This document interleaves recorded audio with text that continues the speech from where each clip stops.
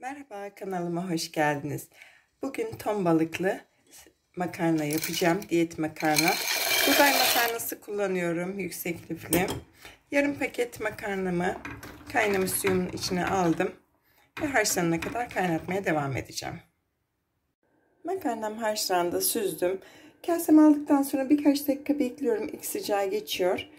2 adet 2 kutu ton balığı ilave ediyorum. Ton balıkların yağını birazcık süzdüm. Makarnama çünkü ekstradan yağ ve tuz ilave etmiyorum. Biraz kekik ilave ediyorum. Damak zevkinize göre dilediğiniz kadar koyabilirsiniz. Kekik çok yakışıyor. Ve kırmızı biber ilave ediyorum. Toz biber olabilir, pul biber olabilir. Dilediğiniz kadar ilave edebilirsiniz. Hem doyurucu hem diyet hem de aşırı lezzetli.